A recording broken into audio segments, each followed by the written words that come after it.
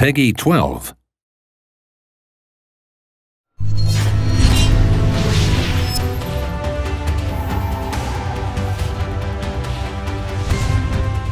Dragon Ball The Breakers is an online asymmetrical action game about one of the most vicious antagonists from Dragon Ball against seven ordinary citizens without superpowers. In the game, the vicious antagonist is called a Raider, and the ordinary citizens as survivors. Survivors of this game are from a group of ordinary citizens who do not have superpowers like Goku. Survivors are sucked into a mysterious phenomenon called temporal seam, which is a space where all the times and places are mixed together. What awaits them there is the threatful Raider.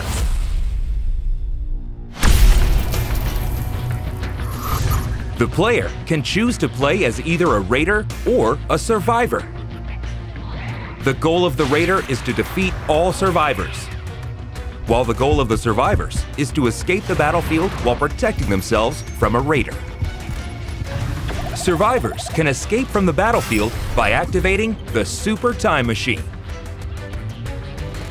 In order to activate the Super Time Machine, they must protect the startup system, which appears in the middle of the map for a certain amount of time.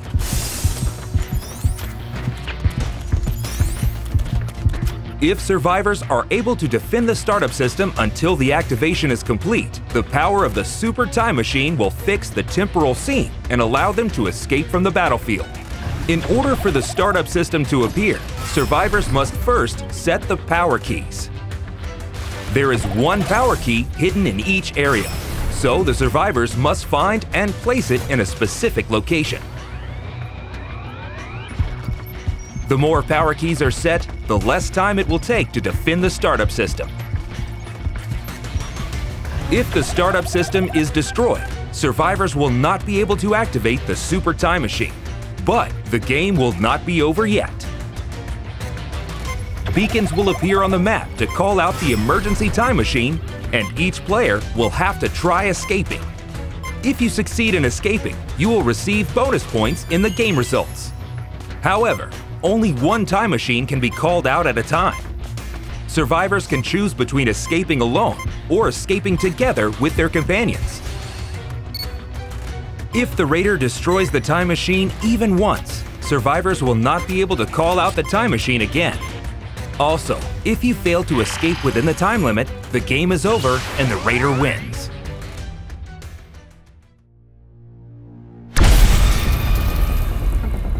A Raider can win the game by stopping the activation of the Super Time Machine and defeating their survivors before they can escape the temporal seam.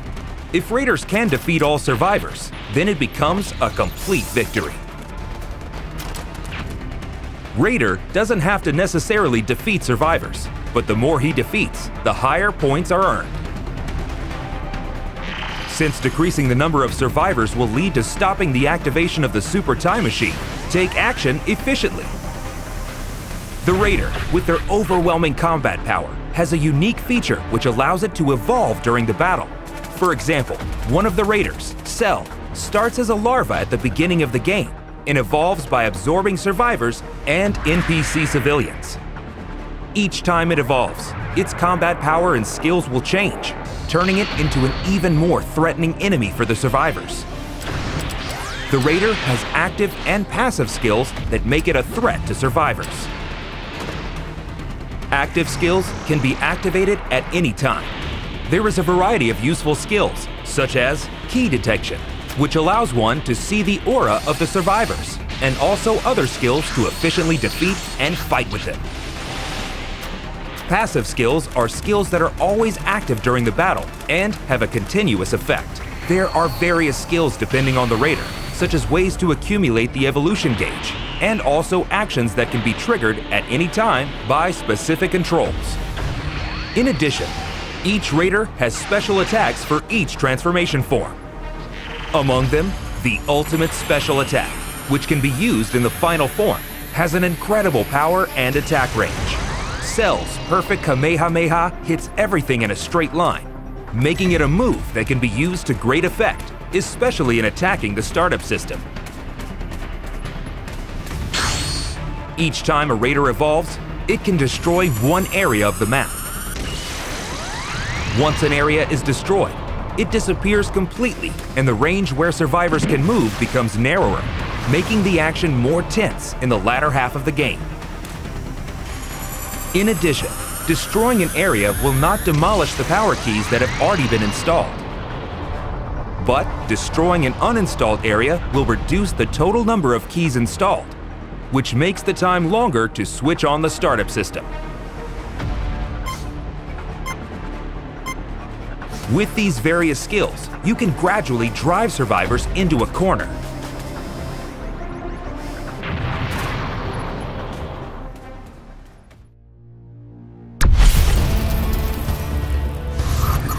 Although the Raider is overwhelmingly powerful, survivors are not unarmed against this threat. Several countermeasures exist. Survivors can also use active and passive skills. For example, the skill Saiyan Pod Remote allows you to call up and board a pod that can land anywhere on the map. However, be careful because it takes a while to call out the pod, and also you will get damaged when the pod falls on your head. As another example, the skill Change can be used to deceive the Raider's eyes by changing into random objects on the map. However, you need to be careful as well as it can sometimes turn into something completely unexpected. Unless you use these skills to your advantage, it will be difficult to escape the powerful Raider. Dragon Change is one of the few ways that survivors can use their power against the Raider. Survivors can equip up to three Transpheres, a sphere that contains the souls of super warriors.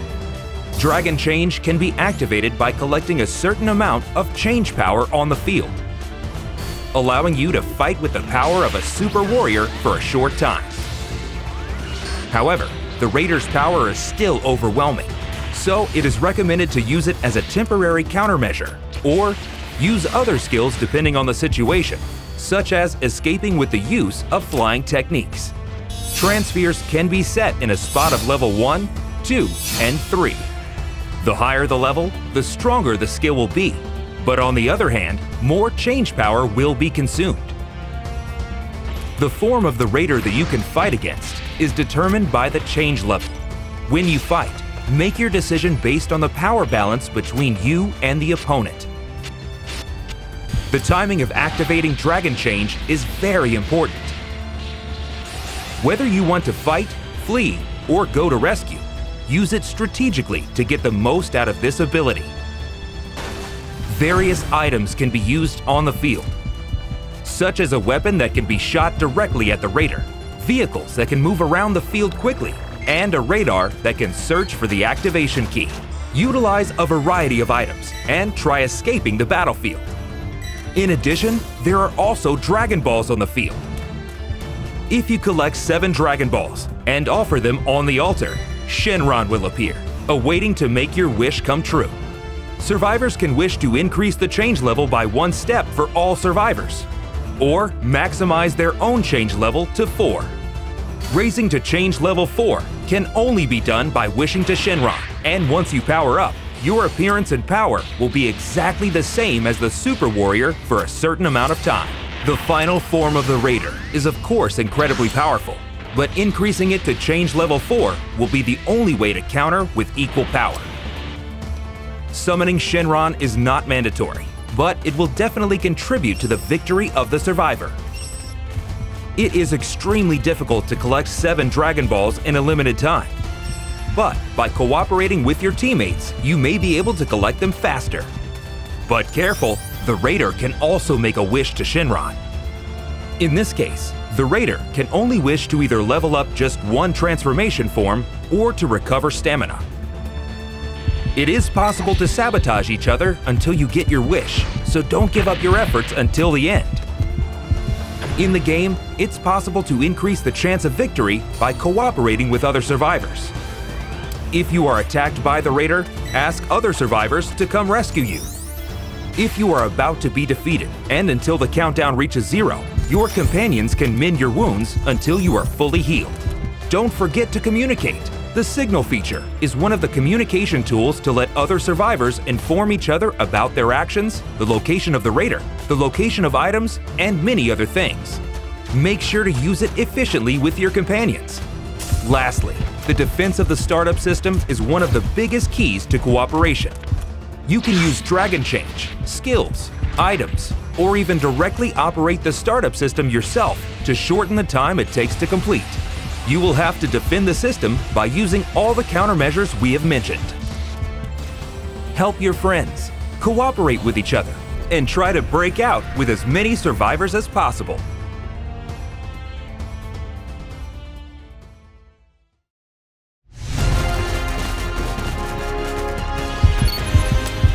Raider versus Survivors. Experience the overwhelming power difference in strength and prepare to enjoy the ultimate asymmetrical battle action in Dragon Ball The Breakers.